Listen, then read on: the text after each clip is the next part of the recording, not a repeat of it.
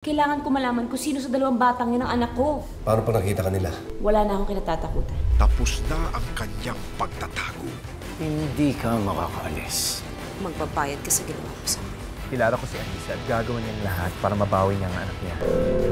Oras na ng kanilang paghaharap. This is just a bad dream. Namising ka. Nasa tunay na buhay ang bangungot mo.